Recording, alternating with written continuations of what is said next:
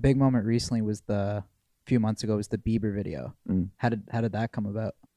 Um, the Bieber video came about. Uh, we talked about doing a video like like over the past couple of years. Like there was always talks of it, and then we really locked in on uh, Halloween last year.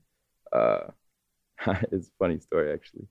Uh, I was uh, I was uh, me and Zach were the guys from Wayne's World, um, and uh, I I hadn't watched the movie recently. I'd seen it when I was younger, but I you know, Fire movie. great movie, but I hadn't watched it recently. I wasn't I wasn't fresh on it, you know.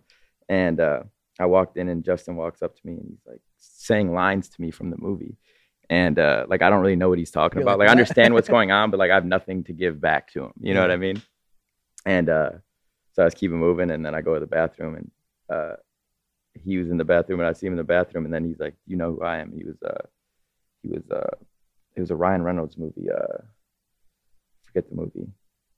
The dude's wearing like a dress shirt with the tie. I don't know. A new movie, right? Yeah, it was a Yeah, newer yeah. one.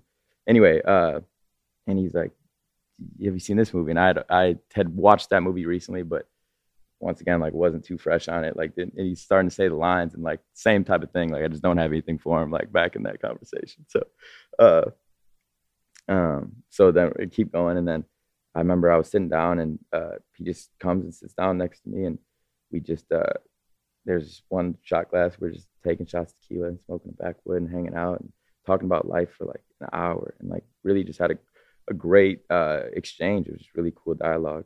And then I get a call like three, four days later that he wants me to direct his uh, tour visual, like that he walks out to. And it's like this really cool uh, message that he they'd put together. And uh, so I worked on that with him. And I remember right after the first shot, he pulls me aside. He's like, what's like your schedule for the next month? Like we got way more work to do.